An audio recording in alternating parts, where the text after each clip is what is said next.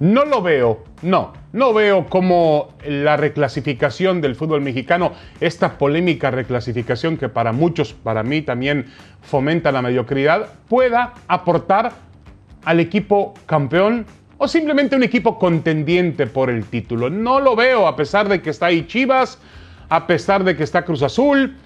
Quizá la única duda que tenga son los Tigres. Creo que el equipo de los Tigres con el plantel que tiene, con los futbolistas de experiencia, con las grandes individualidades y con un entrenador como Miguel Herrera, pueda realmente levantar la mano para poder contender al nivel del América, de Monterrey, de Santos y de Pachuca, los cuatro primeros y cuatro grandes favoritos. Pero si usted me dice que, por ejemplo, las Chivas, que calificaron en noveno lugar, son aspirantes al, al campeonato, pues yo le diría que, realmente me parece una locura.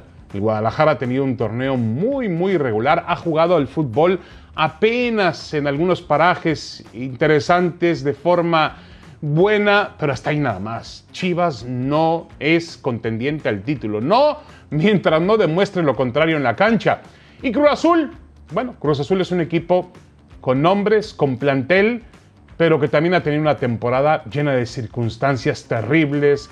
El trabajo de Diego Aguirre, el 7-0 con el América, la partida de Santi Jiménez, luego se fue Jaime Ordiales, el director deportivo, los refuerzos llegaron tarde, lesiones, todo le ha pasado a Cruz Azul. Hay que darle crédito a Raúl Gutiérrez que ha hecho un muy buen trabajo, pero la verdad, la verdad, aún pasando a cuartos de final, no veo a Cruz Azul como contendiente al título. De todos estos ocho equipos, yo únicamente veo a Tigres pasando la reclasificación como un serio aspirante.